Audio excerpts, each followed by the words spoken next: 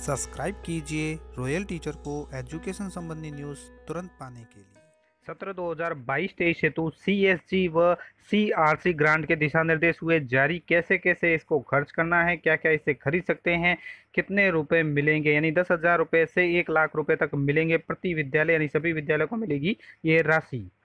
जी हाँ साथियों उस वक्त की खबर की बात करें तो आप सभी जानते हैं कि प्रति विद्यालय को सरकार द्वारा composite school grant C S G जारी की जाती है। C H composite school grant जारी की जाती है बच्चों के नामांकन के ऊपर। यानी बच्चों का नामांकन कितना है उसके ऊपर राशि जारी की जाती है। कैसे जारी की जाती है वो भी बताऊँगा। उसके बाद हम बात करेंगे सी आर सी ग्रांट की। ये राशि किन विद्यालयों को जारी करती है की जाती है और इन, इन दोनों राशियों का उपयोग कैसे किया जाता है? कहाँ कहाँ हम इसको खर्च कर सकते हैं? इनकी यूसी किस प्रकार देनी है? कैसे उसका फॉर्मेट रहेगा? पूरी बात करेंगे आज के इस वीडियो में। साथ इस राशि से हम क्या क्या खरीद सकते हैं जो मोस्ट इम्पोर्टेंट रहता है? तो पूरी बात करेंगे आज के इस वीडियो में। तो दोस्तों, वीडियो को अंत तक ज़रूर देखें। राजस्थान स्कूल शिक्षा परिषद की ओर से जारी इस दिशा निर्देश, जो कंपोजिट स्कूल ग्रांट दिशा निर्देश बाईस तेईस के नाम से जाना जाता है। यानी बाईस तेईस जो वर्तमान सत्र है, उसके अनुसार स्कूल नाम है कंपोजिट स्कूल ग्रांट ये समग्र शिक्षा अभियान के अंतर्गत राजकीय प्राथमिक, उच्च प्राथमिक माध्यमिक एवं उच्च माध्यमिक विद्यालय में सामान्य शैक्षणिक सहशैक्षिक और भौतिक आवश्यकताओं की पूर्ति और पुराने उपकरणों के प्रतिस्थापन तथा विद्यालय स्वच्छता एक्शन प्लान हेतु कंपोजिट स्कूल ग्रांट दिए जाने का प्रावधान है। यानी सभी विद्यालयों को ये राशि दी जाती है। छात्र हित में विद्यालय की मूलभूत आवश्यकताओं की पूर्ति हेतु इस राशि का उपयोग किया जा सकेगा। इसका उद्देश्य विद्यार्थियों के गुणवत्तापूर्ण शिक्षण कार्य को बढ़ावा देने के लिए पाठ्य सहगामी क्रियाओं का विकास करना एवं विद्यालय की दैनिक और भौतिक आवश्यकताओं की पूर्ति करना है।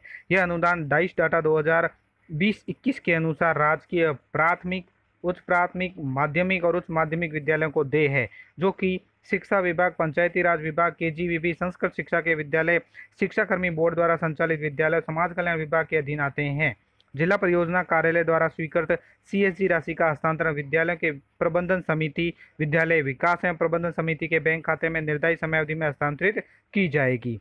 तो आपका जो बैंक खाता है स्कूल का, उसमें ये कंपोजिट स्कूल ग्रांट है, यानी सी की राशि है, वो हस्तांतरित की जाएगी। कैसे की जाएगी? तो आपको बता दूँ कि अगर आपका इनरोलमेंट एक से तीस तक है, जो डाइस डाटा 2020 के अनुसार, ये नामांकन बच्चों का नामांकन एक से तीस तक है तो आपको दस हज़ार रुपये राशि दी जाएगी, जिसमें आपको एक हज़ार रुपये स्वच्छता के ऊपर खर्च करना है, स्वच्छता एक्शन प्लान के ऊपर, यानी दस प्रतिशत है वो स्वच्छता एक्शन के ऊपर खर्च करना है। नामांकन आपका इकतीस से सौ है तो पच्चीस हज़ार रुपये दिए होगा, जिसमें आपको पच्चीस सौ रुपये स्वच्छता पर कर खर्च करने हैं। अगर नामांकन एक सौ एक से दो सौ पचास तक है तो पचास हज़ार रुपये मिलेंगे, जिसमें पाँच हज़ार स्वच्छता पर खर्च करने हैं।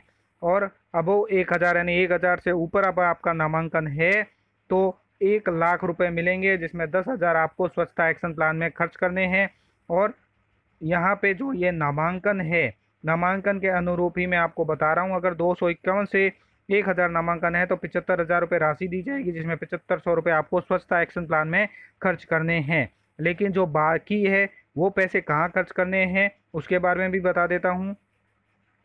यहाँ एक और बात मोस्ट इम्पोर्टेंट है कि जो मर्ज हुए विद्यालय है, एवं शून्य नामांकन वाले विद्यालयों को यह अनुदान दे नहीं होगा। तो इसके लिए अब क्या प्रक्रिया रहेगी कि ये राशि कैसे खर्च करनी है? तो सर्वप्रथम एस और एसएमसी अपने विद्यालय की वार्षिक आवश्यकताओं का चिन्हीकरण कर उन्हें लिखित प्रस्ताव प्राप्त करे। वर्ष भर की आवश्यकताओं का वित्तीय अनुमान निर्धारित करे।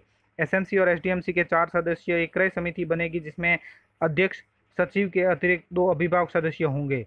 क्रय की गई सामग्री की गुणवत्ता उच्च स्तर की होनी चाहिए।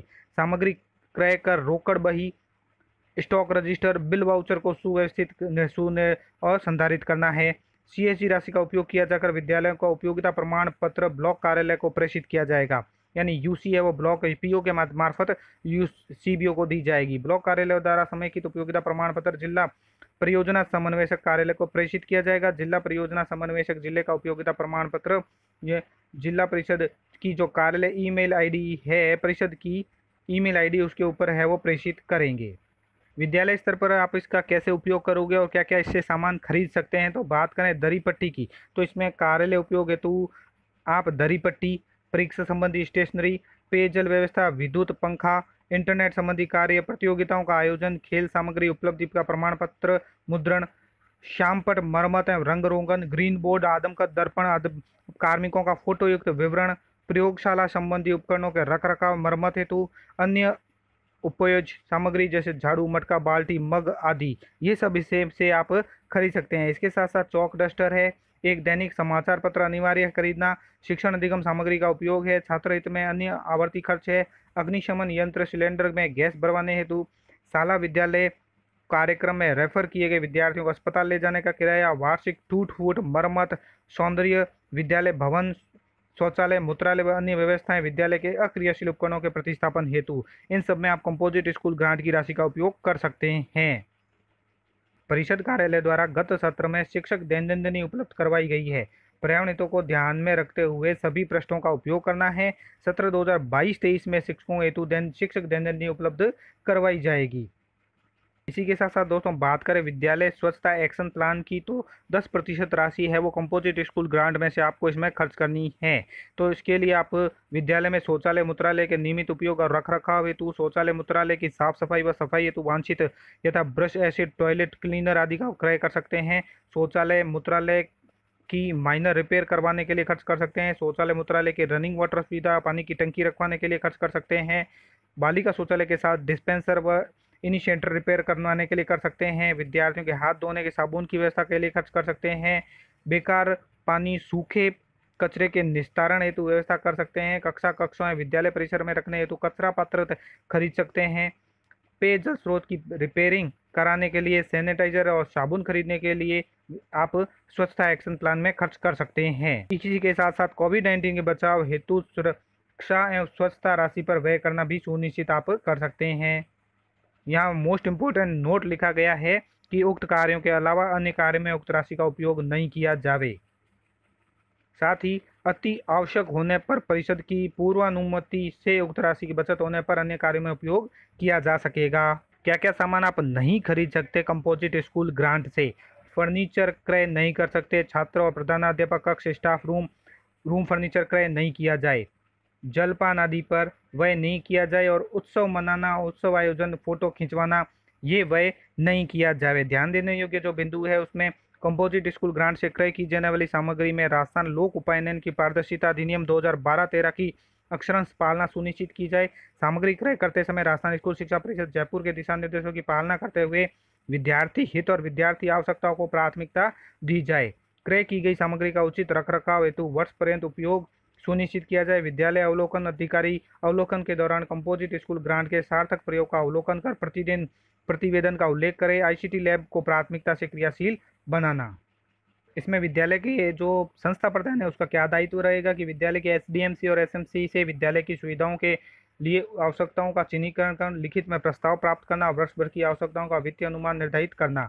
एसडीएमसी और एसएमसी के चार सदस्यों की क्रय समिति बनाना। इसमें अध्यक्ष और सचिव के अतिरिक्त दो अभिभावक सदस्य हो तथा क्रय की गई सामग्री की गुणवत्ता उच्च स्तर की होना सुनिश्चित करेंगे। सामग्री जो क्रय की गई है, रोकड़ बही स्टॉक रजिस्टर, बिल वाउचर को सुनिश्चित करेंगे वित्तीय वर्ष के अंत में कंपोजिट स्कूल ग्रांट की राशि, समस्त राशि का उपयोग उपयोगिता प्रमाण पत्र पीओ, यूसीओ को प्रेषित करेंगे। लेखा संबंधी यहाँ पे बिंदु दिए गए हैं कि इस मद का निर्धारित बजट सीमा से अधिक व्यय नहीं किया जाए। निर्धारित सीमा से अधिक व्यय किए जाने पर संबंधित के विरुद्ध नियमानुसार कार्रवाई की जाकर वसूली की जाएगी। क्रय हेतु वित्तीय नियमों का भी ध्यान रखा जाए। क्रय किए गए व्यय का निर्धारित समय अवधि में उपयोगिता प्रमाण पत्र दिया जाकर समायोजन हेतु सुनिश्चित करवाया जाए। बचत राशि का उपयोगिता प्रमाण पत्र के साथ वापस भिजवाया जाना भी सुनिश्चित किया जाए। राशि का उपयोग गतिविधि व शिक्षा मंत्रालय के दिशा निर्देशानुसार वित्तीय नियमों की पूर्ण पालना कराते हुए वित्तीय प्रक्रिया अनुसार सुनिश्चित करें। क्रय की जाने वाली सामग्री में राशन, लोक उपायन की पारदर्शिता अधिनियम 2012 और 13 की अक्षरांश पालना की जाए। इसमें पीओ का क्या दायित्व रहेगा कि अधीनस्थ विद्यालयों द्वारा कंपोजिट स्टूल ग्रांट की दिशा निर्देशों के अनुसार विद्यार्थी हित में उपयोग करवाना, विद्यालय को जारी राशि का उपयोग, सतत मॉनिटरिंग करना।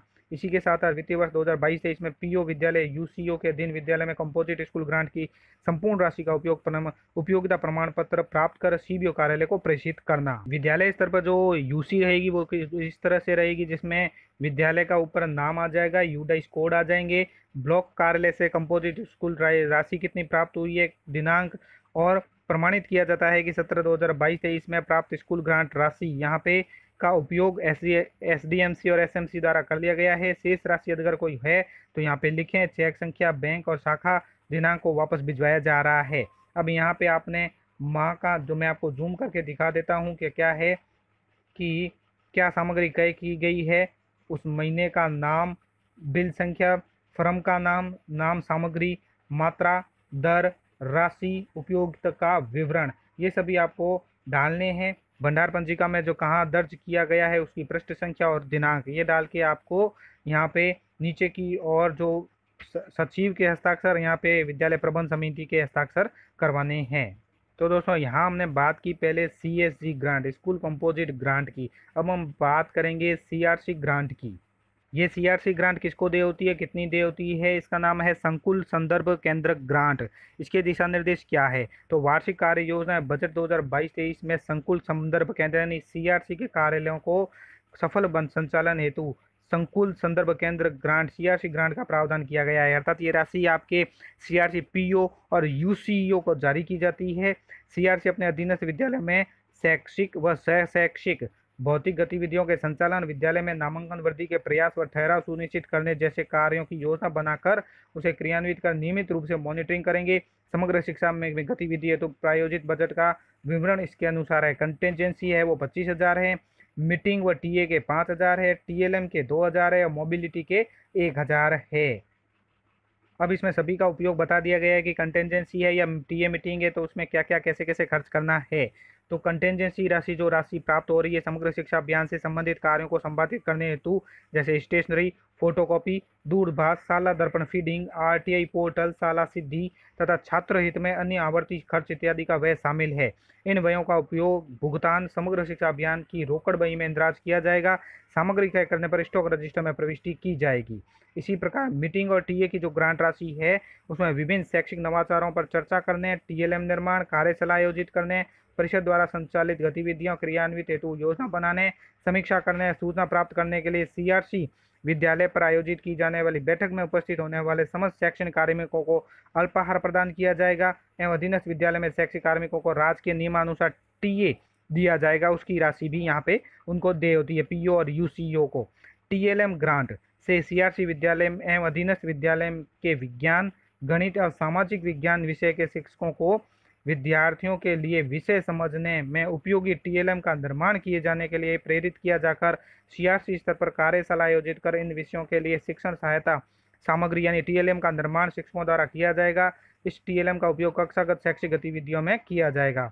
बात करें मोबिलिटी स्पोर्ट ग्रांट की तो मोबिलिटी स्पोर्ट ग्रांट के जो राशि प्राप्त हुई है, इसका उपयोग सीआरसी स्तर पर संस्था प्रधान अपने विद्यालय के अवलोकन करने हेतु की जाने वाली यात्रा के व्यय का समायोजन वित्त विभाग के यात्रा नियमानुसार करेंगे। विभाग द्वारा निर्धारित संख्या अनुसार अधीनस्थ विद्यालयों का अवलोकन किया जाएगा। अधीनस्थ विद्यालय की मॉनिटरिंग और समीक्षा के दौरान किए जाने वाले कार्य, कक्षाओं का अवलोकन के समय विद्यार्थी आंकलन रिपोर्ट तैयार करना, मिड डे मील की मासिक समीक्षा गुणवत्ता सुनिश्चित करना, प्रतिमा अधीनस्थ राजकीय विद्यालय के संस्था प्रधानों की बैठक आयोजित कर शैक्षिक गुणवत्ता की स्थिति की समीक्षा करना, एसएमसी में की बैठक आयोजित कर समीक्षा मॉनिटरिंग करना, सत्र समाप्ति या पश्चात आगामी सत्र हेतु कार्य योजना बनवाकर क्रियान्वय करना, ये सब मोबिलिटी स्पोर्ट ग्रांट की राशि उनको जारी की जाती है। सीआरसी के अंतर्गत प्रत्येक अधीनस्थ विद्यालय की मॉनिटरिंग हेतु प्रति सीआरसी एक हज़ार की मोबिलिटी स्पोर्ट ग्रांट उपलब्ध करवाई जा रही है। इसकी जो मॉनिटरिंग है, वो मुख्य जिला शिक्षा अधिकारी, संकुल संदर्भ केंद्र, अनुदान राशि सीआरसी ग्रांट व दिशा निर्देश बाईस तेईस समस्त सीआरसी कार्यालय द्वारा जारी किया जाना सुनिश्चित करें। साथ ही इसके प्रभावी समुचित उपयोग को मॉनिटरिंग योजनाबद्ध रूप से करें। जिला व ब्लॉक कार्यालय अधिकारियों द्वारा राशि हस्तांतरण, राशि उपयोग की नियमित रूप से मॉनिटरिंग की जाएगी।